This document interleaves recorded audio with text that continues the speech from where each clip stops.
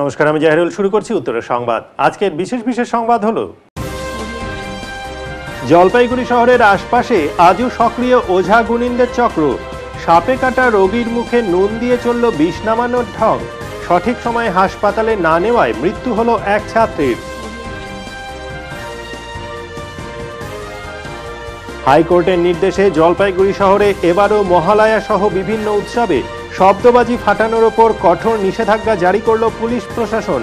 সহযোগিতার আশ্বাস দিল ব্যবসায়ী সংগঠন।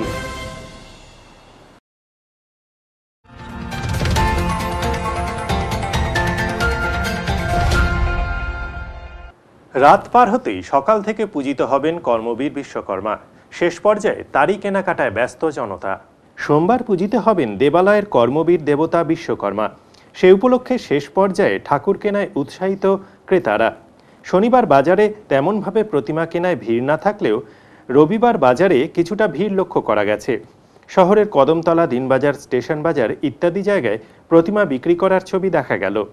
জলপাইগুড়ি শহর ছাড়াও বাইরের বিভিন্ন জায়গায় প্রতিমা বিক্রি করতে এসে তেমন লাভবান হচ্ছেন না বিক্রেতারা, জানান।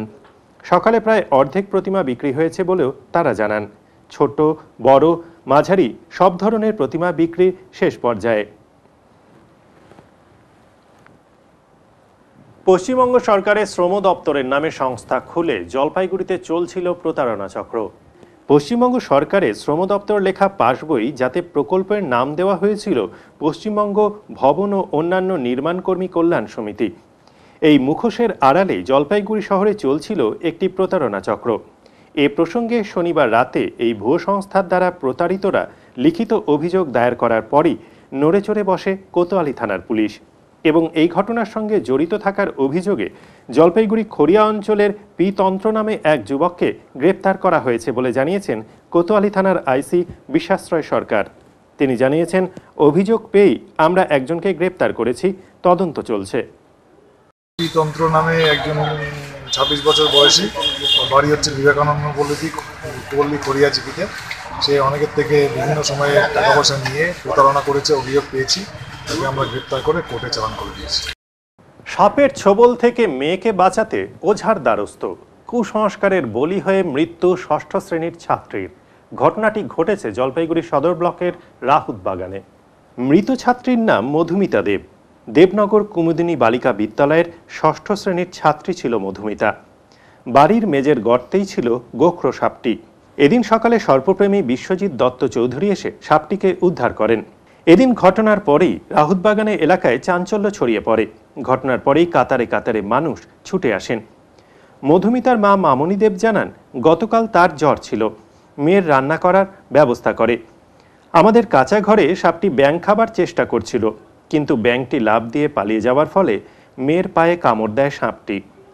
আমার মেয়ে রান্না করতে গেছে। রান্না মানে চা বানাইছে। আমার জ্বর ছিল। তখন আমাকে চাটা দিছে।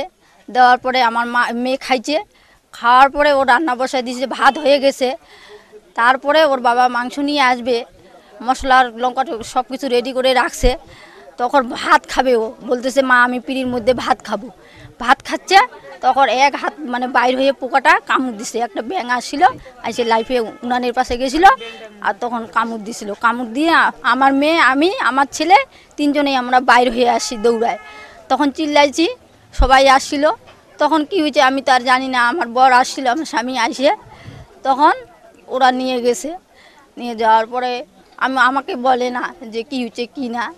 তখন তো আমি কান্নাকাটা করি আমার কিছু আমি বলতে পারি না আর। তখন হসপিটালে নিয়ে গেছে নাকি? ও। মধুমিতার জেঠিমা বটে রায় জানান গতকাল সন্ধেবেলায় মধুমিতা দে সাপে কামড় দেবার পরে তাকে স্থানীয়রা ওঝার কাছে নিয়ে যায়। সেখানে দেরি হয়।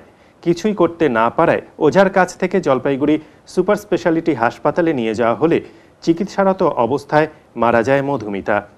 বটরায় বলেন, আমি একজন স্বাস্থ্যকেন্দ্রের কর্মী। আমি আগে জানতে পারলে কখনোই তাকে ওঝার কাছে নিয়ে যেতে দিতাম না। তাকে ওঝার কাছে নিয়ে যাওয়াটাই কাল হলো। কুসংস্কারের বলি হলো মধুমিতা।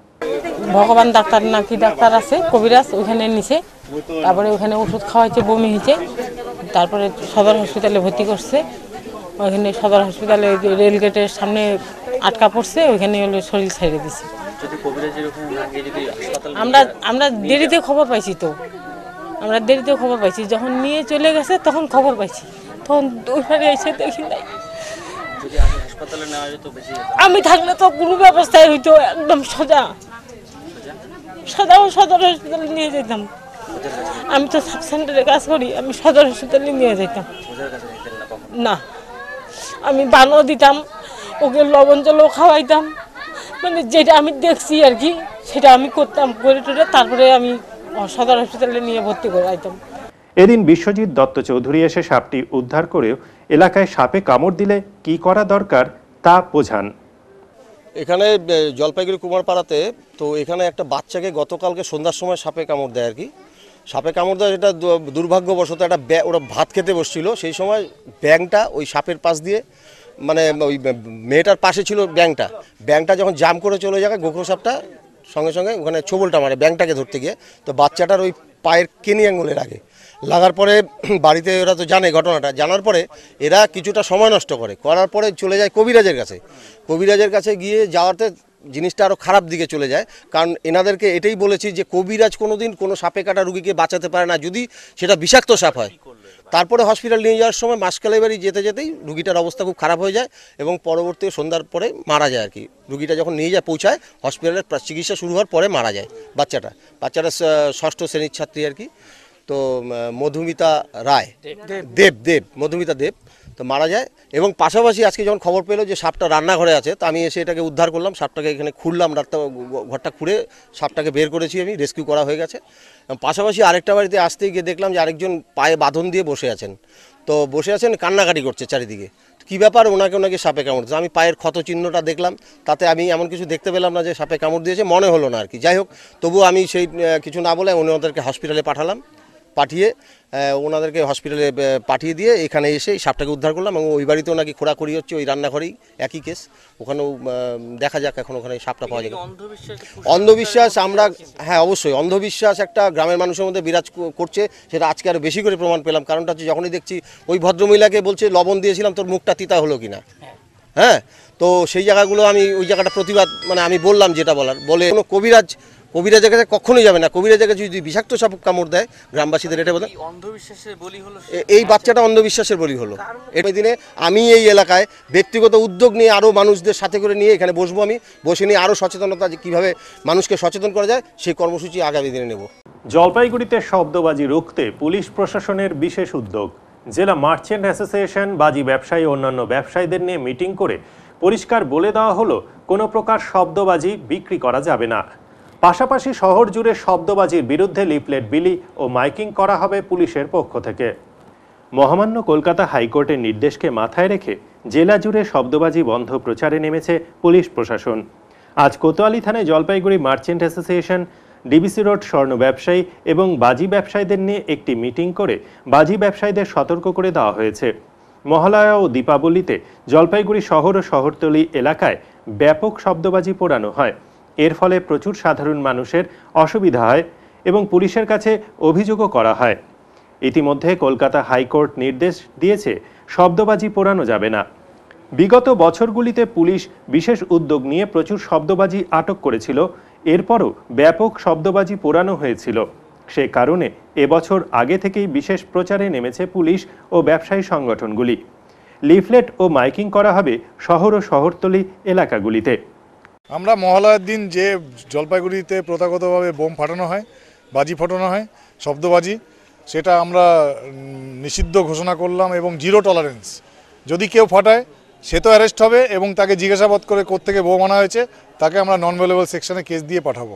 এই বার্তা দেওয়ার জন্যই আজকে এটা মিটিং হলো। কারণ শব্দবাজিতে প্রচুর লোকের অনেক অসুবিধা হয়, মহামান্য হাইকোর্টেরও কিন্তু নির্দেশিকা রয়েছে।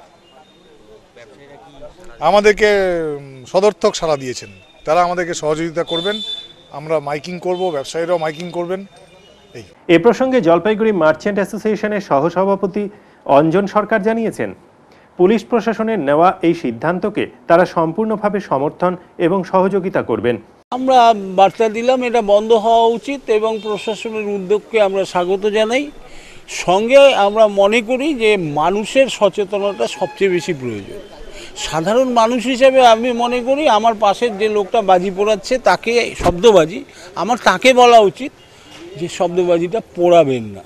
আপনার একটু আনন্দের জন্য অন্যের অনেক বড় ক্ষতি হচ্ছে।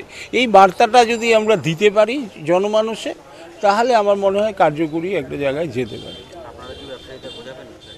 অতি অবশ্যই আমরা লিফলেট দেব আমরা অ্যানাউন্সমেন্ট করব এবং আমরা প্রশাসনকে একদম দ্ব্যর্থহীন ভাষায় বলে গেলাম যে জলপাইগুড়িতে যদি আমার কোনো মেম্বার এই বিষয়ে ধরা পড়ে বাজি পোড়াতে গিয়ে, আমরা তো তার পক্ষে আসবই না।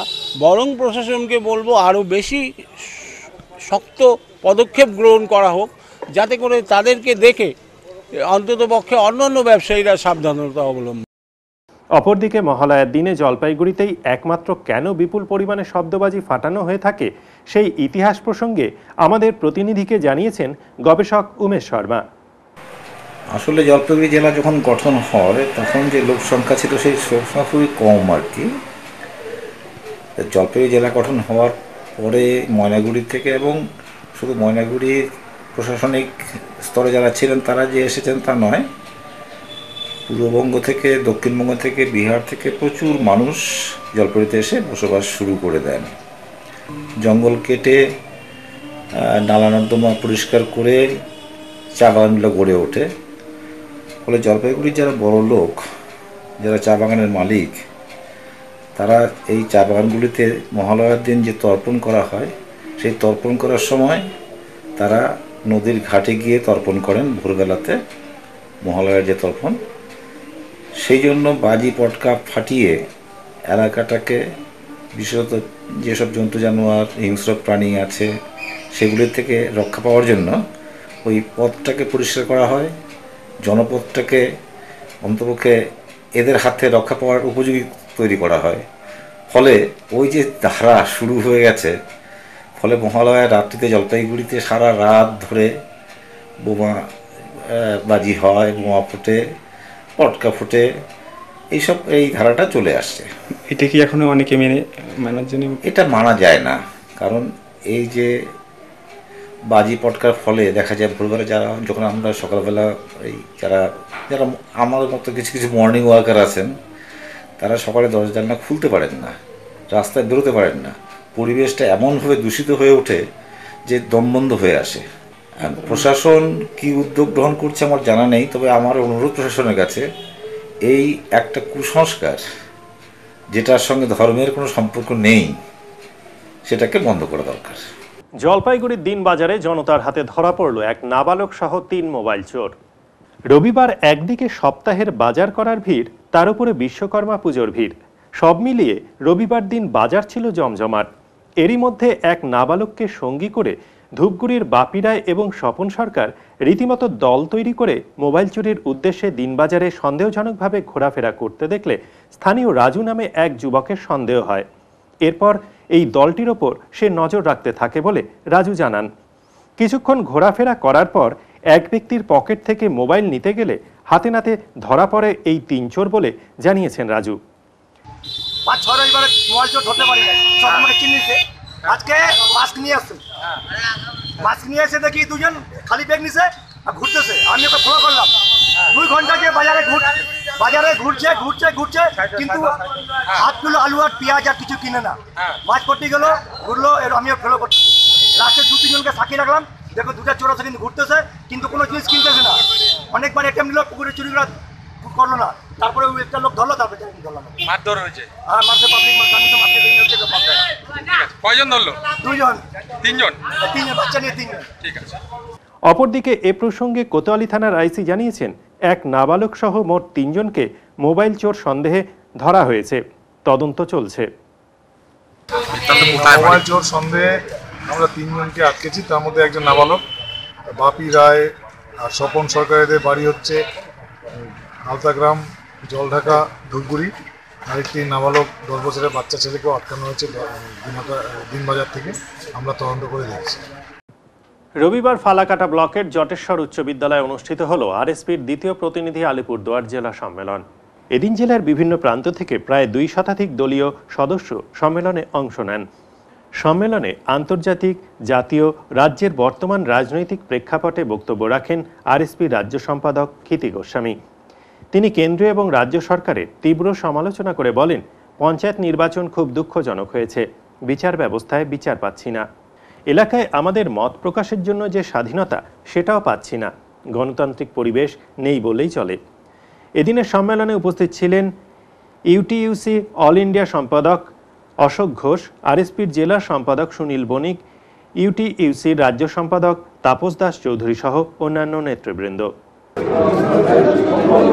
বার্তা সংগঠনকে মজবুত করতে হবে। যে ধাক্কাটা এসে লেগেছে, সেটি, সে ধাক্কা একেবারে নিচতলা পর্যন্ত বলা যেতে পারে অনেকখানি আমাদের সংগঠনের ক্ষতি করেছে। এই ধাক্কা থেকে উঠতে গেলে কীভাবে উঠবে? মূলত আমাদের রাজনৈতিক আদর্শ, তার চর্চা করা এবং আমাদের বিভিন্ন গণসংগঠন, ছাত্র, যুব, মহিলা ট্রেড ইউনিয়ন এই গণসংগঠনগুলোকে আমাদের প্রধানত মজবুত করতে হবে। জলপাইগুড়ি রক্ত সংকটে এগিয়ে এলো জলপাইগুড়ি বর্ধন প্রাঙ্গণ রিক্রিয়েশন ক্লাব ও লায়ন্স ক্লাব রবিবার অনুষ্ঠিত হলো রক্তদান শিবির। রক্তের সংকট মুহূর্তে এগিয়ে এলো ক্লাবের সদস্যরা। জলপাইগুড়ি বর্ধন প্রাঙ্গণ রিক্রিয়েশন ক্লাব ও পাঠাগার ও লায়ন্স ক্লাবের যৌথ উদ্যোগে রবিবার অগ্রসেন ভবনে একটি রক্তদান কর্মসূচি পালিত হয়। লায়ন্স ক্লাবের ডক্টর অজয় পাণ্ডের উপস্থিতিতে মোট পাঁচজনের প্রতিনিধি এই কর্মসূচি পালন করেন। সংগৃহীত রক্ত ব্লাড ব্যাংকে পাঠানো হয় বলে জানা গেছে। এই রক্তদান কর্মসূচিতে জলপাইগুড়ি শহরের বিভিন্ন সহৃদয় ব্যক্তিরা ছাড়াও বাইরে থেকে আগত ব্যক্তিরা নিজেদের ইচ্ছায় রক্তদান করেন। ভারতীয় রেড ক্রস সোসাইটির হলদিবাড়ি শাখার ব্যবস্থাপনায় রবিবার সংস্থার নিজস্ব ভবনে অনুষ্ঠিত হল দু হাজার আঠারো সালে হলদিবাড়ি থানার অন্তর্গত মাধ্যমিক ও উচ্চ মাধ্যমিকে কৃতি ছাত্রছাত্রীদের সম্বর্ধনা অনুষ্ঠান ও স্বেচ্ছায় রক্তদান শিবির। শিবির উদ্বোধন করেন বিধায়ক অর্ঘরায় প্রধান। উপস্থিত ছিলেন বিডিও সঞ্জয় পণ্ডিত, হলদিবাড়ি পঞ্চায়েত সমিতির সভাপতি Nupur Barman, পৌরপতি Shankar Das, BMOH doctor Tapas Das, IC Prabin Pradhan সহ একঝাঁক বিএসএফ আধিকারিক। কৃতি ছাত্রছাত্রীদের সাথে হলদিবাড়ি উচ্চ মাধ্যমিক বালিকা বিদ্যালয়ের রাজ্য স্তরের যুব সংসদ প্রতিযোগিতায় প্রথম স্থানাধিকারীদের পুরস্কৃত করা হয়। রেডক্রসের রক্তদান শিবিরকে সাফল্যমণ্ডিত করতে বিএসএফ বাহিনীর জওয়ানরা রক্তদান করে একটি বড় ভূমিকা পালন করেন। রেড ক্রসের সম্বর্ধনা পেয়ে ছাত্রছাত্রীরা ভীষণ খুশি। নাবালিকা বিয়ে রুখতে ও গ্রামে গঞ্জে ছাত্রীদের সুবিধার্থে কন্যাশ্রী ক্লাব তৈরি করা হচ্ছে। শনিবার সমাজ ও নদী বাঁচাও কমিটির আহ্বায়ক সঞ্জীব চ্যাটার্জি জলপাইগুড়ি কদমতলা বালিকা বিদ্যালয়ে একটি স্বাস্থ্য শিবিরে এ কথা জানান। তিনি বলেন, জেলা সদর হাসপাতালের সহযোগিতায় স্বাস্থ্য শিবিরটি অনুষ্ঠিত হয়। এছাড়াও চেতনা শিবির অনুষ্ঠিত হয়। চেতনা শিবিরে কন্যাশ্রীর ছাত্রীরা উপস্থিত ছিলেন। এই সকল ছাত্রীদের নিয়ে আগামীতে একটি কন্যাশ্রী ক্লাব তৈরি করা হবে। ক্লাবের কন্যাশ্রী মেয়েদের একটি গ্রুপ তৈরি করে ছাত্রীদের বিভিন্ন সুবিধে অসুবিধে তুলে ধরার কাজ করবে ছাত্রীরা। এতে নাবালিকাদের বিয়ে সহ অন্যান্য সমস্যাগুলি সহজেই প্রশাসন জানতে পেরে সঠিক পদক্ষেপ গ্রহণ করতে পারবে। এছাড়াও মোমো সহ অন্যান্য গেমের লিঙ্ক যদি মোবাইলে আসে, তাহলে সাথে সাথে পুলিশ বা স্কুল কর্তৃপক্ষকে জানানোর আবেদন করা হয় এদিন। শনিবার চিতাবাগের দুর্ঘটনাকে কেন্দ্র করে চাঞ্চল্য ছড়ালো ফালাকাটা ব্লকের তাসাটি চা বাগানে। স্থানীয় সূত্রে জানা গেছে, চিতাবাঘটিকে কয়েকদিন ধরে ঘুরে বেড়াতে দেখেছে বাসিন্দারা। স্থানীয়রা বন দপ্তরে খবর দেয়, খবর পেয়ে দ্রুত দলগাঁও এবং মাদারিহাট রেঞ্জের বনকর্মীরা ঘটনাস্থলে পৌঁছে যায়। চিতাবাঘটিকে ঘুমপাড়ানি গুলি করে উদ্ধার করে নিয়ে যান তারা। মাদারিহাট বন দপ্তরের রেঞ্জার খগেশ্বর কাজী জানান, চিতাবাঘটি পূর্ণবয়স্ক পুরুষ। চিতাবাঘটি ঠিকভাবে দাঁড়িয়ে চলতে পারছে না। সম্ভবত বাঘটি কোমরে চোট পেয়েছে। চিকিৎসা করে সুস্থ হলে তাকে খয়েরবাড়ি জঙ্গলে ছেড়ে দেওয়া হবে।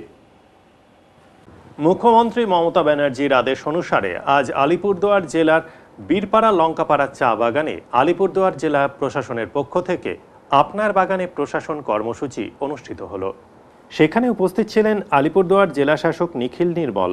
এছাড়াও আলিপুরদুয়ার জেলা প্রশাসনের বিভিন্ন দপ্তরের আধিকারিক, আলিপুরদুয়ারের সাংসদ দশরথ তির্কি এবং ব্লক আধিকারিকরা উপস্থিত ছিলেন। আজ এই এলাকায় লঙ্কাপাড়া, রামঝোড়া, তুলসীপাড়া এই তিনটি চা বাগানের শ্রমিকরা আসেন। তাদের বিভিন্ন সমস্যা, অভাব অভিযোগ আধিকারিকদের বলেন। এছাড়াও জেলা শাসক নিজে চা বাগান শ্রমিকদের সমস্যার অভিযোগ শোনেন। আলিপুরদুয়ার জেলা শাসক নিখিল নির্মল জানান, মুখ্যমন্ত্রীর আদেশ অনুসারে আলিপুরদুয়ার জেলার বিভিন্ন চা বাগানে আপনার বাগানে প্রশাসন কর্মসূচি গ্রহণ করা হয়েছে। আজ লঙ্কাপাড়া, রামঝোড়া, তুলসীপাড়া চা বাগানে এই কর্মসূচি গ্রহণ করা হচ্ছে। এই কর্মসূচির মূল উদ্দেশ্য হল চা বাগানে প্রশাসনের আধিকারিকগণ যাবেন। এবং বাসিন্দাদের অভাব অভিযোগ শুনবেন এবং তা সমাধানে সচেষ্ট হবেন। আজ লঙ্কাপাড়া, তুলসীপাড়া, রামঝোড়া তিনটি চা বাগান থেকে প্রচুর লোক এসেছেন। তাদের সমস্যাগুলো শোনা হচ্ছে এবং সমাধান করা হচ্ছে। এছাড়াও সরকারি বিভিন্ন পরিকল্পনা সম্বন্ধে মানুষজনকে সচেতন করা হচ্ছে বলে জানান জেলা শাসক নিখিল নির্মল। আমাদের লঙ্কাপাড়া চা বাগানের শান্তি ক্লাব মাঠে আপনার বাগানে প্রশাসন হচ্ছে। এই প্রোগ্রাম আমরা মাননীয় মুখ্যমন্ত্রী মমতা ব্যানার্জি ম্যাডামের আদেশ অনুসার এটা করছি। এই এই মিটিংয়ে আমাদের মাননীয় এমপি সাহেব উপস্থিত আছে। আমরা এখানে ইয়ে কভার করতে চাইছি তিনটে বাগান, লঙ্কাপাড়া, তুলসীপাড়া আর রামজোড়া। আমরা এখানে মানুষদের কাছে থেকে যেগুলো ওদের অসুবিধা আছে, অভিযোগ আছে, ওটা শুনছি। ওটা সলভ করার জন্য চেষ্টা করছি। এছাড়া আমাদের সরকারের যেগুলো স্কিমগুলো আছে, উন্নয়নমূলক প্রকল্প আছে, এগুলো নিয়ে একটা সচেতন শিবিরও হচ্ছে। তো এইরকম প্রোগ্রাম হচ্ছে, তিনটে গার্ডেন থেকে ভালোই লোক আসছে প্রোগ্রাম এখনও চলছে। তিন মাস বন্ধ থাকার পর পর্যটকদের জন্য খুলে দেওয়া হলো গরুমারা এবং চাপনামারি অভয়ারণ্য।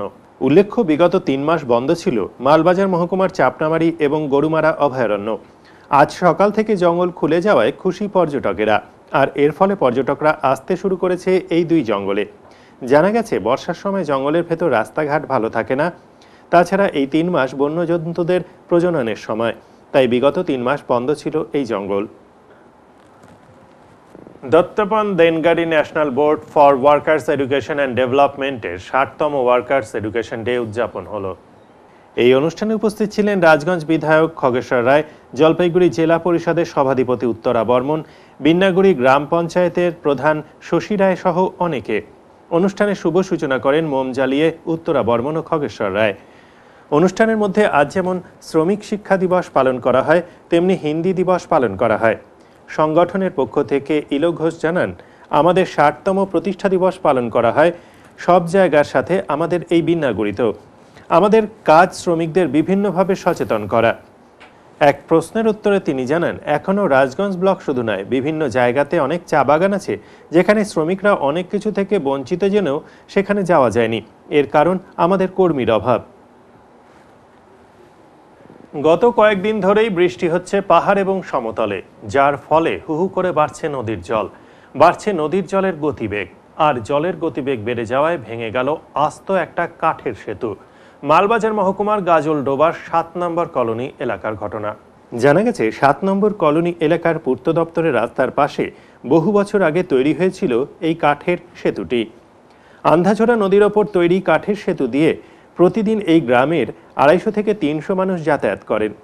কিন্তু গতকাল হঠাৎ জলের স্রোতে ভেঙে যায় এই সেতুর একাংশ। প্রায় ষাট ফিট লম্বা এই সেতু ভেঙে যাওয়ায় সমস্যায় পড়েছেন এলাকার প্রায় পাঁচশো মানুষ।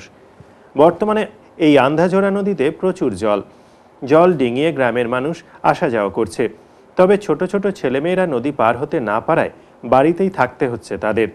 অবিলম্বে এই সেতুর মেরামতির দাবি জানিয়েছেন এলাকার মানুষেরা। সকালে ব্রিজটা ভেঙে গেছে ঠিক আছে? এখন আমাদের খুব প্রবলেম কেন আমার বাচ্চা আমাদের বাচ্চারা স্কুলে যাইতে পারছে না কেউ অসুস্থ হলে পট করে আমরা যাইতে পারছি না এই জল দিয়ে কেমন করে যাব? তো সমস্যা হচ্ছে না? সমস্যা বাজার ঘাট দোকান পাশা সব বন্ধ। এখন আমাদের সিদ্ধ ভাত খেতে হবে শুধু এখন কি নদীতেই যাচ্ছেন হ্যাঁ নদী দিয়ে কোথা দিয়ে যাব? যাওয়ার কোনো জায়গাই নেই। জল তো বাড়ছে না? হ্যাঁ জল তো বাড়তেছে আজকে একটু কম আছে। আচ্ছা এমনি স্টুডেন্টরা কীভাবে যায়? স্টুডেন্টের স্কুল বন্ধ। যেতে পারছে না? না কেমন করে যাবে?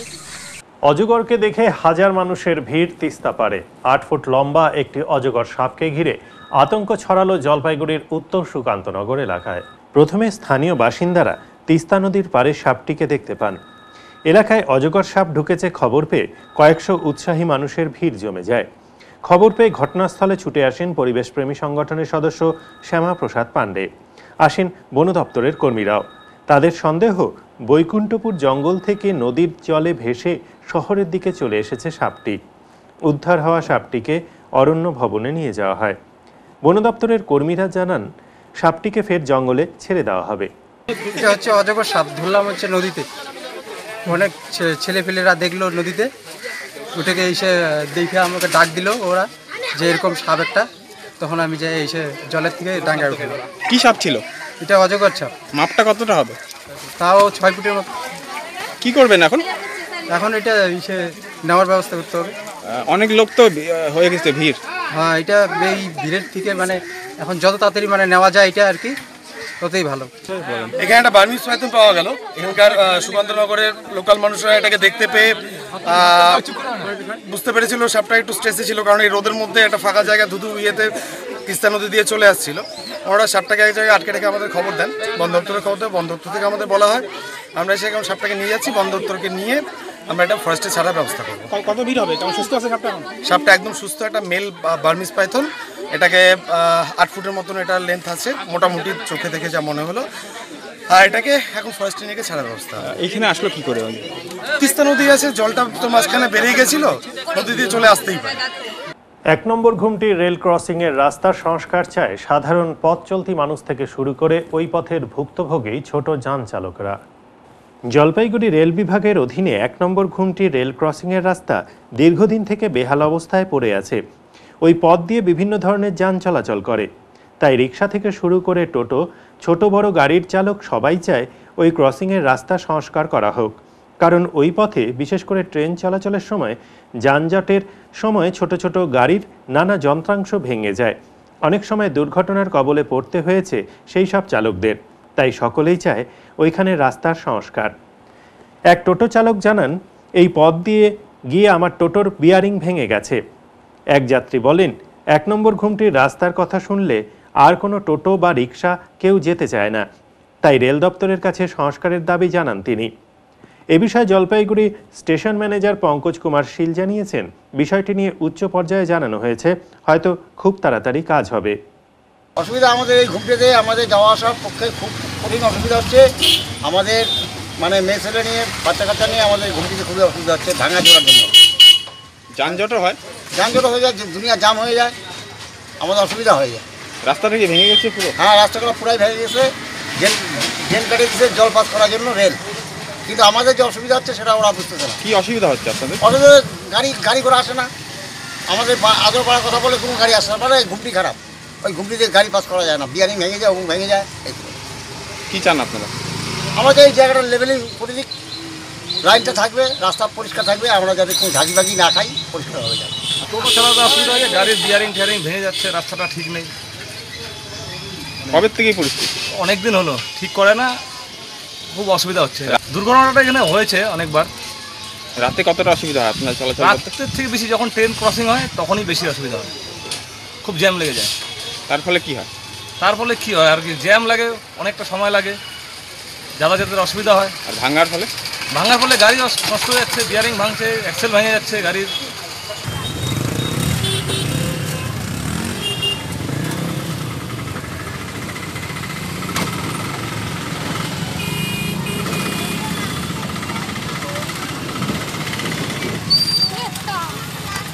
এক নম্বর ঘুমটি ঠিক না আমরা লোকাল বলি এক নম্বর ঘুমটি আসলে রেলে হচ্ছে বলে সেভেন আর এইচ বলে হ্যাঁ? সেভেন আর এইচ হ্যাঁ? তো এটা দীর্ঘদিন থেকেই খারাপ হয়ে আছে আর কি এবং আমি দু থেকে তিনবার মেসেজ দিয়েছি ওরা বলছে কাজ করবে আসলে কি নর্মালের ওয়ার্কটা হবে না এটা ভালো মতো করতে হবে। তো স্যাংশনটাই পাওয়া যায়নি এখন মানে হয়ে গেছে লাস্ট কথা হয়েছে দু তিন দিন আগে কথা হয়েছে বলছে হয়ে যাবে কাজ। রিসেন্টলি কাজ শুরু হবে দুর্ঘটনা তো অনবরত ঘটতেছে। হ্যাঁ, এটা তো কাম্য না এটা তো কাম্য না আমরা চেষ্টা করব তাড়াতাড়ি এটাকে পোস্টার ঠিক যাতে হয়ে যায়। মানে কারণ কি নাহলে আমাদের খুব কমপ্লেন শুনতে হচ্ছে এটাকে। এবং আমি হাই অফিসারকে জানিয়েছি এই ব্যাপারে ওনারাও খুব ইয়ে আছে। এবং ওরা বলেছে সম্ভবত আপনার বিশ্বকর্মা পুজোর পরেই কাজ হবে।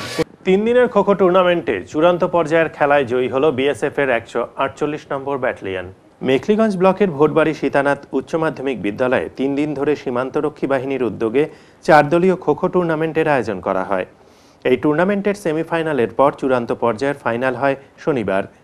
উপস্থিত থাকেন মেখলিগঞ্জের মহকুমা শাসক দিব্যনারায়ণ চ্যাটার্জি, একশো আটচল্লিশ নম্বর Changrabandha company commandant Gautam Kumar, BS বাড়ি, BSF commandant Arpit Singh Kharkharia, company commandant Nabin Gupta, Phulkadabri company commandant S N K Thakur, Bhotbari গ্রাম পঞ্চায়েত প্রধান মৃত্যুঞ্জয় সিং সরকার, সীতানাথ উচ্চতর মাধ্যমিক বিদ্যালয়ের প্রধান শিক্ষক বীরেন্দ্রনাথ বর্মন প্রমুখ। খেলায় প্রথম ট্রফি জয় করেন একশো আটচল্লিশ নম্বর কোম্পানি বিএসএফ। সেই টিমেরই ম্যান অব দ্য ম্যাচ নির্বাচিত হন নূরনবী নয়ন প্রামাণিক। রানার্স হয় পঁয়তাল্লিশ নম্বর কোম্পানি। বিজয়ী টিম তীব্র প্রতিদ্বন্দ্বিতা করে মোট চোদ্দ পয়েন্ট সংগ্রহ করে এবং দ্বিতীয় দলের পয়েন্ট সংখ্যা দশ। খেলা শেষে বিএসএফ এর উচ্চ আধিকারিকের দ্বারা পুরস্কার ও ট্রফি তুলে দেওয়া হয় বিজয়ীদের হাতে। উত্তরের মন পরিবেশিত উত্তরের সংবাদ এখনকার মতো পর্যন্তই। নমস্কার।